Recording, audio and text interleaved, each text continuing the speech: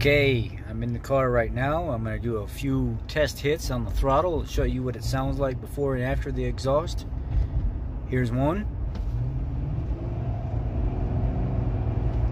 Super quiet. You almost hear nothing at all. I'll do another one.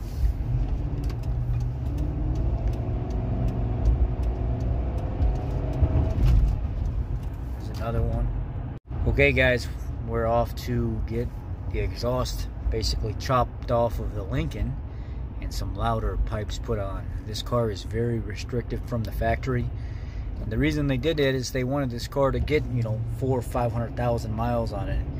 And uh, we're ready to open this girl up and let her breathe a little bit. So stay tuned for the exhaust.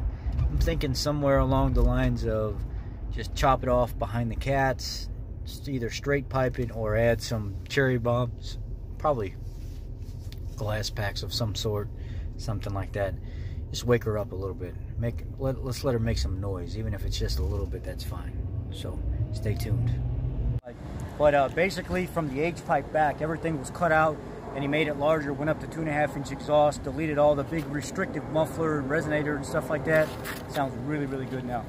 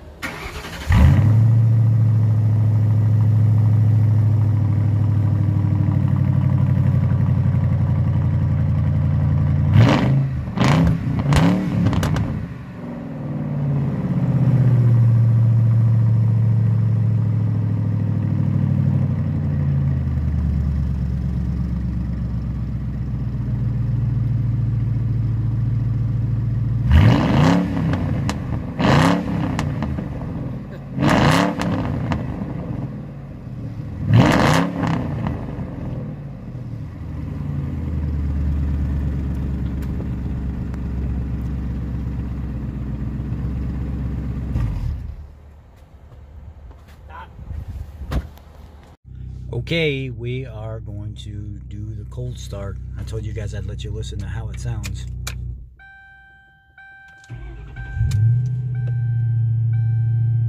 It's quite a bit louder.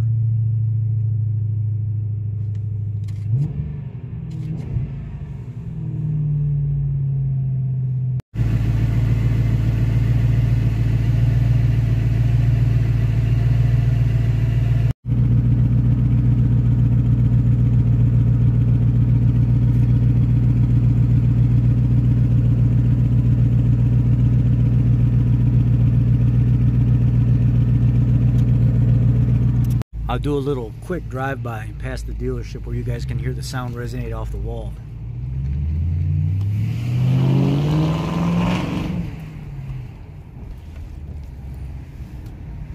And then here's no wall.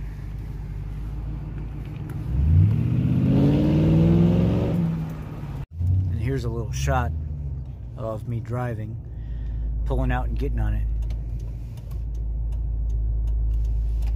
I mean, you can hear a little bit of the rumble right now, but not very much. I like this setup the best just because this seems to make the most power without having to add tons of money into it. That doesn't make a difference anyway. Expensive Flowmasters and catback exhaust and all that stuff does not change the performance on this car until you start getting up seven, 800 horsepower. And those guys have a completely different mindset. Those are track cars. They're not cars that you, you build out of a Lincoln Town car. Or they could be. Okay, we're about to pull out right now. It's clear.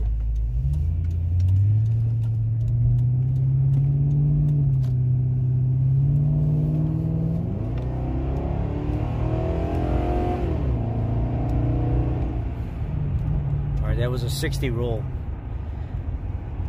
Okay, guys. Uh, well, I hope you you kind of like what you what you hear, what you see, what what's going on with the sleeper town car, but this is going to be a progression build. It's going to be a turbo or supercharged vehicle eventually, and we're just kind of doing little things as we go. And I'm doing it as cheap and budget friendly as possible, but using a little common sense uh, along the way. So I hope you liked the video. Give it a thumbs up. Subscribe to the channel, guys. This is what it sounds like at 80 mile an hour. It's pretty darn quiet. But get on it at 80.